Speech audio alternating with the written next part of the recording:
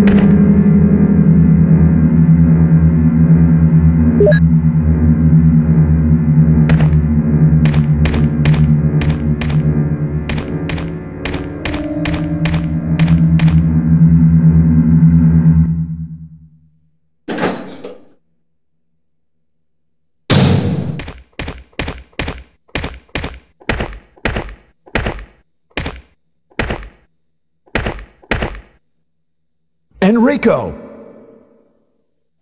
Don't come any closer, Chris. Wait, what happened? Double crosser! Don't! Uh, hell. Umbrella. Who is it? I- is someone there?